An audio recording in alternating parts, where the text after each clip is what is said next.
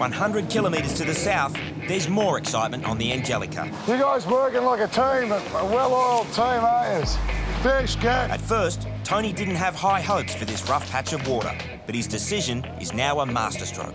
Watch the way the fish is coming. Get over this side, mate. Yeah, got it.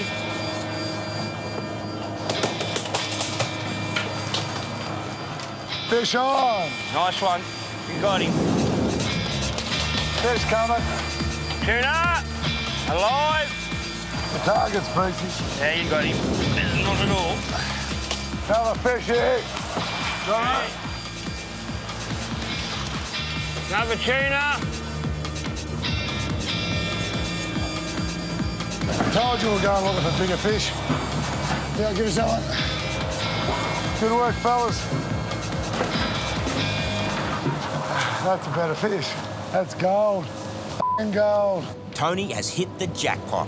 He's caught an amazing 50 fat yellowfin on one line. Thank you, gentlemen. Hey, well done, Jono, Francis, Dan. Good on yous. Thank you. Oh, well, we caught some fish. It's great. The boys are happy. They're going to, they're making money. They're going to get paid at the end of the month. Yeah, that's all good. It's a staggering $60,000 at market for one night of hard work. Hydraulics are A off. triumph for the exhausted skipper and a personal best. I have never caught 50 fish before. It's a good result. After missing yesterday and to come um, catch 50, it was, it was great, actually. It was very satisfying.